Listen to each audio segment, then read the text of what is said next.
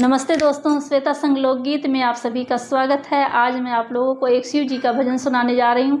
अगर मेरा भजन आप लोगों को पसंद आता है तो प्लीज़ मेरे वीडियो को लाइक करिएगा। अगर आप चैनल पर नए हैं तो उसे सब्सक्राइब भी कर लीजिएगा। धन्यवाद। पार्वती, तेरो सैया मैं देखाई